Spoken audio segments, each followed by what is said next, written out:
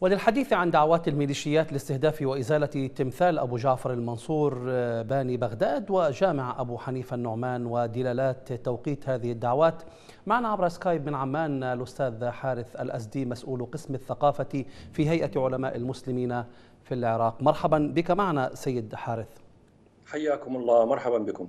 دعوات إذن أولا لإزالة آه، تمثال آه، أبو جعفر المنصور ثم جامع أبو حنيفة النعمان في بغداد. من يقف خلف هذه الدعوات برأيكم؟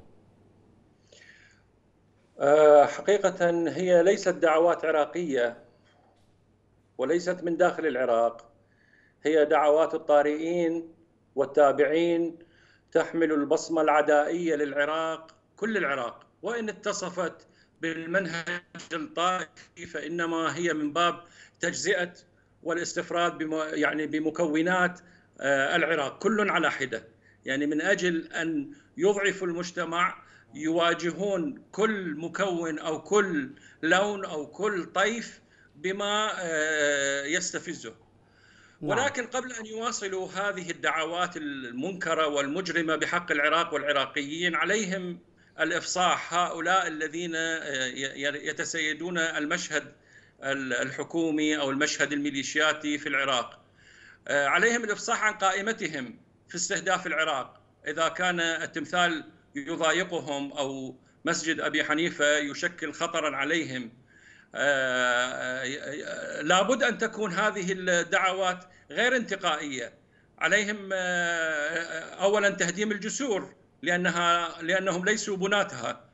آه، كذلك عليهم تهديم القصور التي يتخذونها الآن سكنا لهم ودوائر للحكم لأنها ليست لهم ولا من ممتلكاتهم. آه، السؤال هل عليهم تهديم المدارس والجامعات مع أنهم لم يبنوا مدرسة أو جامعة؟ بل إن صورة يعني لدى كل عراقي صورة تنتمي إلى خمسينات القرن الماضي يظهر فيها صف للإبتدائية إذا ما قرن إذا ما قارناها مع آه، آه، صف آه، عام 2020 تجد الطلاب يفترشون الأرض من دون رحلات من دون أي مستلزمات نعم. للدراسة نعم. هذه كفيلة ب يعني نقض كل ما يريدون يريدون يريدون الوصول نعم. إليه السؤال الآخر يواجههم هل يظنون أنهم قادرون على محو العراق هل إذا ازالوا التمثال ستزال بغداد؟ بغداد بما استقر في ذهن كل عراقي. بغداد حاضرة الدنيا وقرطاس علم الأرض. بغداد عطر الزبيدة. زاك لمن حفظ الذمام. نعم. السؤال الآخر لماذا هذه الدعوات تستهدف آه، هذه المعالم تحديدا؟ جامع أبو حنيفة النعمان آه، آه، تمثال أبو جعفر المنصور. ما دلالات ذلك؟ هل ثمة دلالات لهذا الموضوع؟ الدلالة طبعا الدلالة طائفية وهي كلما ضاق عليهم الخناق يستهدفون آه، الرموز الوطنية ويحاولون إثارة الشعب وإثارة المواقف. وهذا آه، ما ما علمناه خلال آه، سنوات الاحتلال منذ 2003 وإلى اليوم.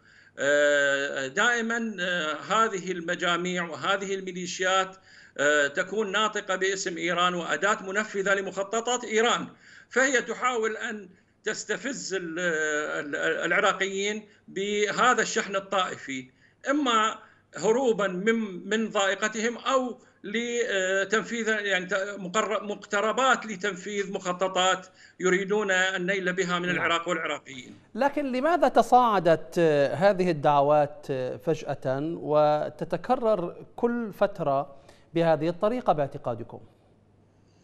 تصاعدت هذه الدعوات الآن اولا اقتراب اقتراب الانتخابات آه، الأمر الآخر أن هناك آه، وعيا آه، جماهيريا وطنيا اليوم في مواقع التواصل الاجتماعي في المساحات الصوتية التي تعج بالمتحدثين انقسم المشهد إلى عراقيين وولائيين. فهذا ما يؤرقهم. الآن يريدون إعادة العقارب عقارب الساعة إلى الوراء من أجل الشحن الطائفي. أولا لقطع الطريق عن آه، الوعي الذي أنتجته ثورة آه، تشرين الذي قض مضاجعهم وهدد مشروعهم.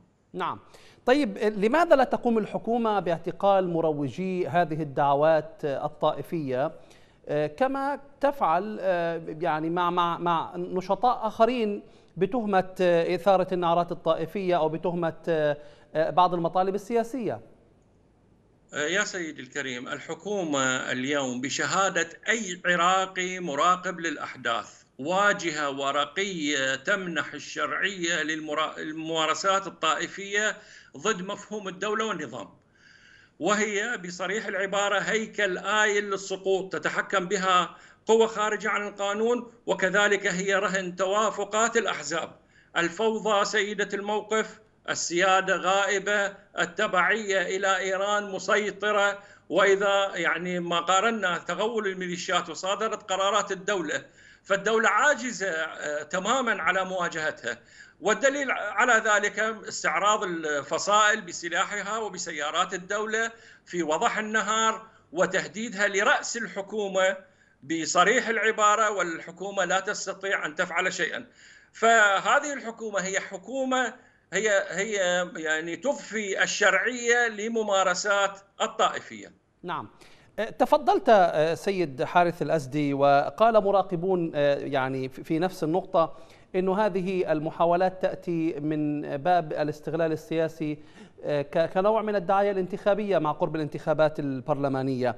والغريب في الحقيقة أن هذه الأحزاب أو من يقف وراء هؤلاء المروجين لدعوة الهدم المعالم التاريخية بدلا من أن يتنافسوا بالقوائم الانتخابية التي تعكس هموم البلد وبالبرامج الانتخابية التي تدعو للإصلاح يتنافسون آه، بالدعوة إلى هدم رموز ومعالم العراق كيف يفكر هؤلاء؟